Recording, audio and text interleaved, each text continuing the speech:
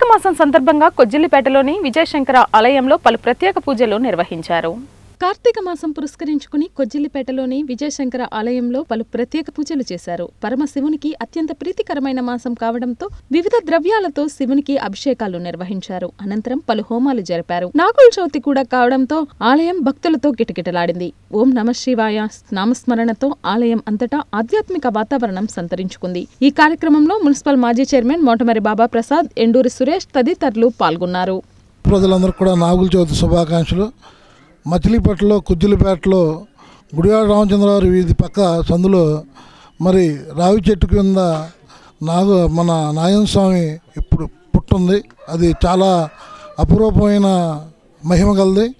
ఎన్నో ఏళ్ళ నుంచి కూడా చాలా భక్తి విశేషాలతో పూజా కార్యక్రమాలు చేస్తున్నారు. మరి భక్తులు రాకతో భక్తుల యొక్క కోరికలు మరి నెరవేరటంతో ఇంకా ఇక్కడ వైభవంగా పూజా కార్యక్రమాలు అభిషేక కార్యక్రమాలు విశిష్టంగా పెద్ద ఎత్తున కార్యక్రమాలు అలంకారాలు అన్నీ కూడా ఆరతులు అన్నీ కూడా జరుగుతున్నాయి. మరి వేద పండితులతో చక్కటి కార్యక్రమాలు చేస్తూ ఈ కార్యక్రమం పెద్ద ఎత్తున నిర్వహిస్తాం. చాలా సంతోషంగా ఉంది. మనస్ఫూర్తిగా ఆ స్వామివారిని ఎవరైతే కోరుకుంటారో మనస్ఫూర్తిగా స్వామివారికి ఎవరైతే మరి కార్యక్రమాలు చేస్తారో ఖచ్చితంగా ఆ స్వామివారి అనుగ్రహం కనపడుతుంది. ఇక్కడ చేసుకున్న వాళ్ళందరూ కూడా చాలామందికి అనేక విశేష ఫలితాలు కనపడ్డాయని చెప్పి కూడా తెలియజేస్తూ వేప చెట్టు కలిసున్న భాగంలో సంతాన ప్రాప్తికి ఎంతో సిద్ధం చెప్పి చాలామంది చెబుతున్నారు. చెప్పడం కాకుండా వాళ్ళని చూస్తుంటే ఎంతోమంది సంతానం తీసుకుని వచ్చి స్వామి అనుగ్రహం పొందుతూ వెళ్తున్నారు. ఎంతమంది ఇక్కడ సంతానం కలిగింది. ఇది అంచెలంచెలు ఇంకా దివ్యంగా ఎంతో వైభవంగా ముందుకు వెళ్ళాలని మనస్ఫూర్తి కోరుకుంటున్నాను. అలాగే ఇంత పంతులు గారు చెప్పినట్టు ఇక్కడ ఆలయ ప్రతిష్టకి సంబంధించి పూనుకుంటూ అందరూ అనుకుంటున్నారని చెప్పి అన్నారు. అది శరవేగంగా అది త్వరలో ప్రారంభమయ్యి మరీ సంవత్సరం ఆలయంలో ఇటువంటి పూజలు జరుపుకోవాలని మనస్ఫూర్తిగా కోరుకుంటున్నాను. పుట్ట దగ్గరికి వచ్చి పాలు పోసుకుంటానికి ఎంతోమంది భక్తులు వచ్చి వెళ్ళారు. ఇదివరకు నేను వచ్చినప్పుడు చాలా కొద్ది కొద్దిగా మంది వచ్చేవాళ్ళు. ఈ రోజున ఎన్నో ఉదయం నుంచి కూడా ఎన్నో వందల మంది భక్తులు ఈ రోజున ఈ పుట్ట దగ్గరికి వచ్చి ఎంతోమంది వాళ్ళ అనుభవాలు చెప్తూ ఉంటే చాలా ఆశ్చర్యంగా ఉంది. మాకు స్వామివారి దయ వలన మాకు పిల్లలు కలిగారు. స్వామి దయ మాకు ఈ కోరిక కలిగింది. స్వామి దయ మేము ఇల్లు కొనుక్కున్నాము స్థలం కొనుక్కున్నాము అని చెప్పేసి ఎంతోమంది మాట్లాడుతూ అంటే చాలా ఆనందంగా ఉంది. దేశ మాజీ ఉప ప్రధాని సర్దార్ వల్లభాయ్ పటేల్ భారతదేశ ఐక్యతకు చేసిన కృషి మరవలేనిదని పలువురు భక్తులు పేర్కొన్నారు. దేశ మాజీ ఉప ప్రధాని సర్దార్ వల్లభాయ్ పటేల్ జయంతిని చల్రస్తా సెంటర్లో ఘనంగా నిర్వహించారు. ఈ సందర్భంగా పలువురు ఆయన చిత్రపటానికి పూలమాలలు వేసి నివాళులు అర్పించారు. ఉక్కు మనిషిగా పేరుగాంచిన పటేల్ ఐక్య భారత నిర్మాణానికి చేసిన కృషి చిరస్మరణీయమని వక్తలు శ్లాఘించారు. దాదాపు నాలుగు వందల సంస్థానాలను దేశంలో విలీనం చేసిన ఘనత పటేల్కే దక్కుతుందన్నారు. దేశాభివృద్ధికి ప్రజల సంక్షేమానికి నైతిక విలువలకు కట్టుబడిన మహోన్నత వ్యక్తి సర్దార్ వల్లభాయ్ పటేల్ అని కొనియాడారు. ఈ కార్యక్రమంలో దులిపాల శ్రీరామచంద్రమూర్తి మైనంపూడి సాయిబాబు కరెడ్ల సుశీల సత్యనారాయణ సింగ్ మౌలాలి పాండురంగారావు హరికృష్ణ తదితరులు పాల్గొన్నారు. సుమారుగా ఐదు వందల అరవై రెండు సంస్థానాలు జమీలన్నీ కూడా స్వతంత్రం అయ్యాయి ఆ పరిస్థితుల్లో మరి హోంమంత్రిగా వల్లభాయ్ పటేల్ గారు అందరినీ కూడా కూర్చోబెట్టి ఐదు వందల అరవై రెండు సంస్థానాలని కూడా ఏకం చేసి ఇవాళ భారతదేశం ముప్పై నూట ముప్పై కోట్లతో ఇరవై తొమ్మిది రాష్ట్రాలతో ఏడు కేంద్రపాలిత రాష్ట్రాలతో ఉంది అంటే ఆ ఘనత సర్దార్ వల్లభాయ్ పటేల్ గారిదే. అయితే స్వతంత్రం వచ్చిన తర్వాత ఉన్నటువంటి కేంద్రంలో సుమారుగా యాభై అరవై సంవత్సరాలు చేసినటువంటి ప్రభుత్వం జాతీయ నాయకులను మర్చిపోయింది.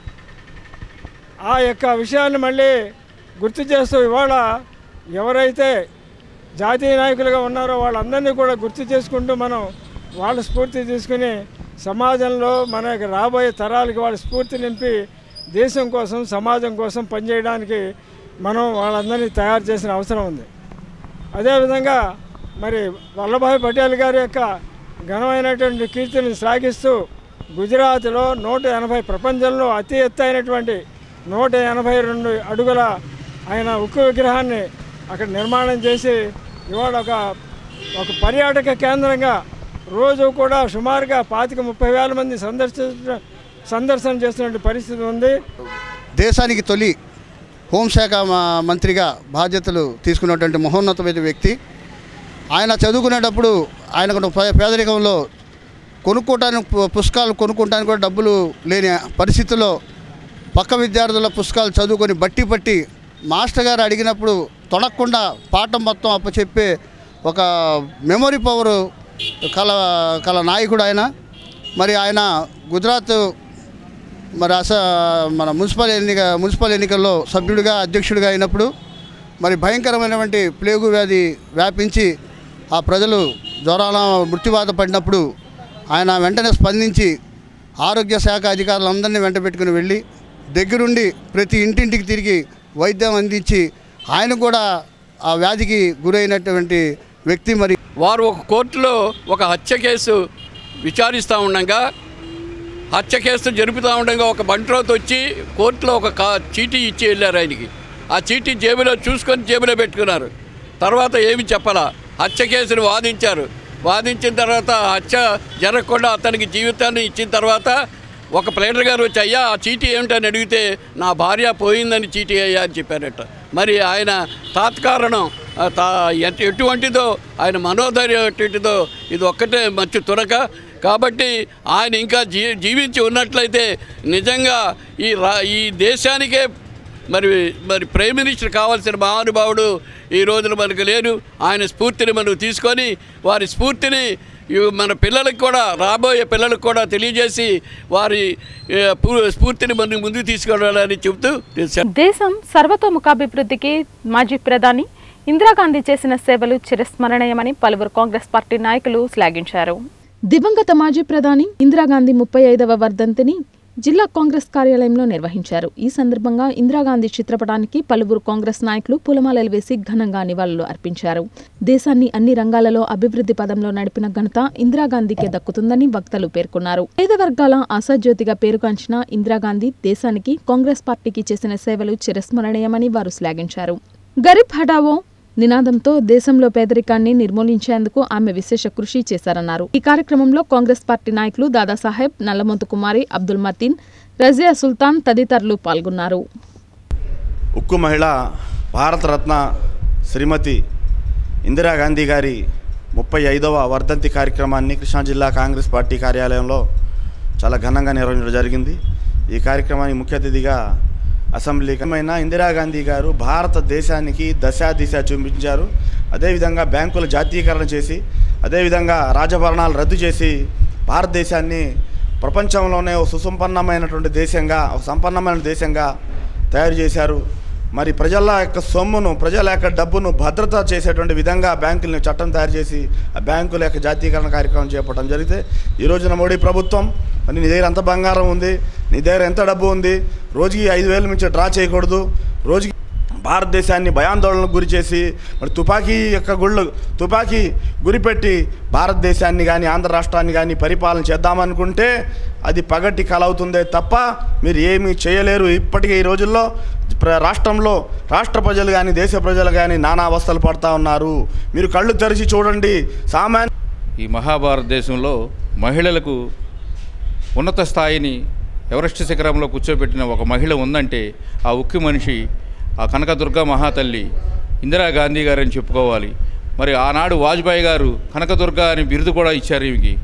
మరి ఈనాడు ఇందిరాగాంధీ గారు చేసిన త్యాగాలు ఇన్ని అన్నీ కాదు ఇప్పటి వరకు కూడా పేదవాళ్ళని ఆ ఒక పథకాలే కాపాడుకుంటూ వచ్చాయి. మరి కాంగ్రెస్ పార్టీ ఉన్నంతకాలం కూడాను ఎస్సీ ఎస్టీ మైనారిటీస్ ముస్లిమ్స్ అందరూ కూడా కలిసిమెలిసి ఉన్నారు. ఏ ఎటువంటి బాధలు లేకుండా ఈ ఈ యొక్క ఆపద లేకుండా ప్రతి ఆ మహిళ కూడా ధైర్యంగా వెళ్ళి ఆ, ఆ పని చేసుకుని ఇంటికి వచ్చేది. ఈనాడు మరి కాశ్మీర్లో చూస్తే మరి ఈనాడు కాశ్మీర్లో మహిళలను అన ఒక ఒక విధమైన విధిగా రేప్ చేయటం అనేకమైన ఇది చేయటం మరి ఇంత దారుణంగా చేయటం ఏనాడు కూడా లేదు. అనేకమైన ముస్లిం మహిళలను క్రిస్టియన్ మహిళలను నానా నీచమైన పనులు చేస్తూ బీజేపీ వాళ్ళు చేసే పనులు ఇంత అంతా కాదు. మరి శ్రీమతి ఇందిరాగాంధీ గారి ముప్పై ఐదవ వర్ధంతి జరుపుకోవడం చాలా ఘనంగా ఉంది. మరి ఆమెకి ఘనమైన నివాళులు అర్పించాము. అలాగే ఒక మహిళ ఉక్కు మహిళ మరి ఆమె అలింగ దేశానికి అధ్యక్షత వహించారు. మరి అలాగే బ్యాంకులు జాతీకరణ చేయటం కానీ మరి పేదవాళ్ళకి భూములు పంపిణీ చేయటం కానీ అలాగే ఎన్నో పథకాలను ప్రవేశపెట్టారు. పేద పేద బ- పేద బడుగు బలహీన వర్గాల వారి కోసం ఎన్నో పథకాలను ప్రవేశపెట్టి మరి పేదరిక నిర్మూలన చేయడానికి ఎంతో కృషి చేశారు. మరి అలాంటి మహిళ మరి భారతదేశంలో జన్మించడం చాలా మహిళలకు గర్వకారణము. మరి అలాంటి మరి మహానుభావురాలని ఈరోజు తలుసుకుంటున్నాము మహాత్మా గాంధీ నూట యాభైవ జయంతి సందర్భంగా బీజేపీ చేపట్టిన సంకల్పయాత్ర మొవ్వ మండలం చేరుకుంది. మహాత్మా గాంధీ నూట యాభైవ జయంతి పురస్కరించుకుని మనసులో బాపు పేరిట భారతీయ జనతా పార్టీ నిర్వహిస్తున్న గాంధీజీ సంకల్పయాత్ర కృష్ణా జిల్లా మొవ్వ మండలంలో నిర్వహించారు. ఈ పాదయాత్రలో బీజేపీ నాయకులు కేంద్ర మాజీ మంత్రి సుజనా చౌదరి సునీల్ థియోదర్ తదితరులు పాల్గొన్నారు. గాంధీ మహాత్ముడు కలలు కన్నా గ్రామ స్వరాజ్య స్థాపనే ప్రధాని నరేంద్ర మోడీ లక్ష్యమని వారన్నారు మొబ్బ మండలం కోసూరు నుండి కాజవరకు సంకల్పయాత్ర సాగింది. ఈ సందర్భంగా కోసూరులో మహాత్మా గాంధీ అల్లూరి సీతారామరాజు విగ్రహాలకు పూలమాలలు వేసి బీజేపీ నాయకులు నివాళులు అర్పించారు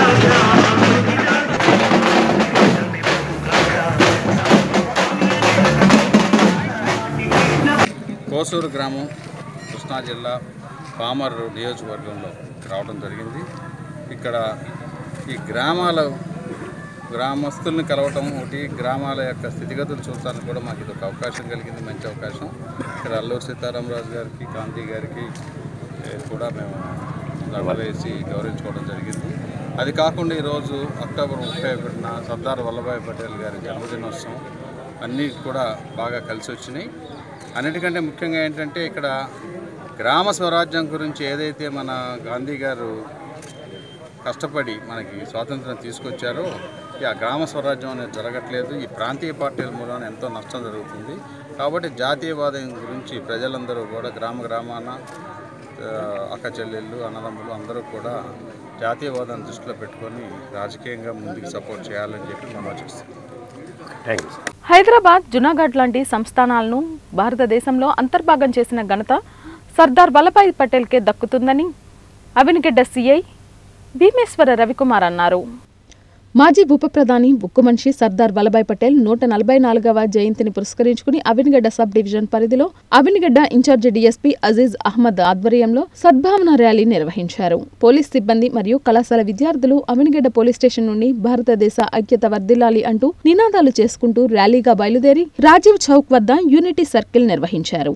ముందుగా అవినిగడ్డ పోలీస్ స్టేషన్ వద్ద సర్దార్ వల్లభాయ్ పటేల్కు నివాళులు అర్పించారు. అనంతరం అవినిగడ్డ సీఐ భీమేశ్వర రవికుమార్ మాట్లాడుతూ దేశంలో మూడు వందల చిన్న పెద్ద సంస్థానాలు ఉండేవని వీటిని స్వదేశ రాజులు పాలించేవారని వీటన్నిటిని భారతదేశంలో విలీనం చేసి ఒకే జెండా కిందకు తీసుకుని రావడానికి వల్లభాయ్ పటేల్ ఎంతగానో కృషి చేశారని తెలిపారు. హైదరాబాద్ జునాగఢ్ వంటి సంస్థానాలను కూడా ఇదే విధంగా భారతదేశంలో విలీనం చేసిన ఘనత ఆయనకే దక్కుతుందని పంతొమ్మిది వందల నలభై ఎనిమిదిలో హైదరాబాద్ భారత రాజ్యంలో అంతర్భాగం అయిందని తెలిపారు. గాంధీజీ నేతృత్వంలో స్వతంత్రోద్యమంలో పాలుపంచుకుని దేశ ప్రజల సంక్షేమం కోసం అనేక సాంఘిక ఉద్యమాలను చేశారని భారత రాజ్యాంగం రచనలో కూడా ప్రముఖ పాత్ర వహించినట్లు తెలిపారు.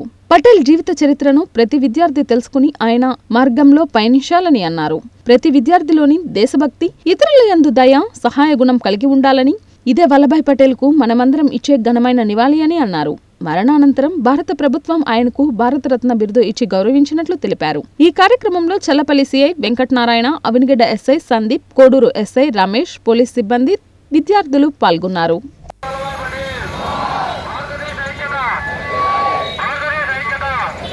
దేశం ఏర్పడిందంటే ఎంతో మంది యొక్క కృషి ఫలితం యొక్క త్యాగాల యొక్క ఫలితమే మనం అనుభవిస్తున్నాం. ఐదు వందల అరవై ఐదు. సంస్థానాలు కలిసిపోయి అంటే అంత ఈజీగా కలిసిపోయి ఉండదు. మన ఊర్లోనే రెండు వీధుల్ని ఏకం చేయాలంటే మనం ఎంతో కష్టపడుతుంటాం ఏదైనా సోషల్ యాక్టివిటీ చేయాలి. అలాంటిది ఇంత విశాలమైన భారతదేశంలో ఐదు వందల అరవై ఐదు సంస్థానాలని కలిపి భారతదేశాన్ని అంతటినీ ఏకచక్రాధిపత్యంగా ఒకే దారిలో తీసుకొచ్చి ఇంత మంచి స్వేచ్ఛగా మనం బతికేదానికి అవకాశం కల్పించినటువంటి మహానుభావులందరికీ ఒక్కొక్క తేదీ తరపున ధన్యవాదాలు తెలుపుకుంటా. అందులో భాగంగానే ఈరోజు నూట నలభై నాలుగవ జయంతి సందర్భంగా సర్దార్ వల్లభాయ్ పటేల్ గారి జయంతి సందర్భంగా యూనిటీ ర్యాలీ. అంటే అందరూ ఐక్యతతో కలిసి ఉంటే ఏదైనా సాధించవచ్చు అనే దానికి అధికారం కోసమో లేకపోతే ఇక్కడ వ్యాపార అవకాశాల కోసం ఇంకో దాని కోసం వచ్చి మనల్ని మరింత విభజించి పాలిస్తారు అని చెప్పి భావించి ఒక దీర్ఘ దృష్టితో మనందరి యొక్క ఫ్యూచర్ కోసం ముఖ్యంగా భారతదేశం అనేది ఏకతాటిపైకి వచ్చి ఒక దేశంగా నిలబడితే మాత్రమే అభివృద్ధి సాధ్యం అవుతుందని చెప్పి ఆలోచించి ఏకీకరణకే పూనుకున్నారు. ఏకీకరణ పూనుకు పూనుకున్నప్పుడు ప్రధానంగా ప్రాబ్లం ఏంటంటే మీ అందరికీ తెలుసు ఢిల్లీని రాజధానిగా చేసుకుని పాలించిన ఈస్ట్ ఇండియా కంపెనీ కొంత ప్రాంతాన్ని మాత్రమే పాలించింది కొంత ప్రాంతం మాత్రం ప్రిన్స్లీ స్టేటస్ స్టేట్స్ అని రాజ్య చిన్న చిన్న రాజ్యాలుగా ఉండిపోయింది. ఐదు అటువంటి ఐదు వందల అరవై ఐదు ఐదు వందల అరవై ఐదు మీకు తర్వాత జీకేలో బిట్టు కూడా అవుతుంది ఇది. ఐదు వందల అరవై ఐదు ఈ సంస్థానాలన్నింటినీ కూడా ఏకీకరణ చేయడానికి ఒక కార్యక్రమాన్ని చేపట్టి దానికి హెడ్ కింద అప్పటి డిప్యూటీ ప్రైమ్ మినిస్టరు అదేవిధంగా మంచి వక్త కార్యదర్శుడు అయిన కార్యదీక్షత కలిగిన వ్యక్తి అయినటువంటి మన సర్దార్ వల్లభాయ్ పటేల్ పటేల్ గారి దిశానిర్దేశకత్వంలో ఆ కార్యక్రమం చేపట్టడం జరిగింది. అది సక్సెస్ఫుల్గా ముగిసినందువల్ల ఈరోజు మనం మనకి నచ్చిన హైదరాబాద్లోని నచ్చిన బెంగళూరులోని నచ్చిన కలకటాలోని లేకపోతే మరొక ప్రాంతం నచ్చితే ఆ ప్రాంతంలోని స్వేచ్ఛగా తిరగలుగుతున్నాం లేకపోతే అక్కడికి వెళ్ళడానికి కూడా మనకి పాస్పోర్ట్ కావాల్సి వస్తున్నాం తెలుసా? ఒకే ఒక అంటే రాజకీయాలను మనం టచ్ చేయకూడదు. ఒకే ఒక్క లోపం ఏం జరిగింది? కాశ్మీర్ అనే దానికి షరతులతో కూడినటువంటి విలీనాన్ని అనుమతించినందువల్ల ఈరోజు కొన్ని వేల మంది సైనికులు వాళ్ళ రక్తాన్ని దారిపోస్తున్నారు. అవునా కదా? ప్రతినిత్యం మీ అభివృద్ధి ఫలాల్ని రక్షణ కోసం ఖర్చు పెడుతూ కొన్ని లక్షల కోట్ల రూపాయలు ఇప్పటికి మనం వృధా చేసుకున్నాం. అవునా కదా? సో అలాగా మరికొన్ని ప్రాంతాలు కనుక ఎలా చేసి ఉంటే సిటీ న్యూస్ సమాప్తం. నమస్కారం.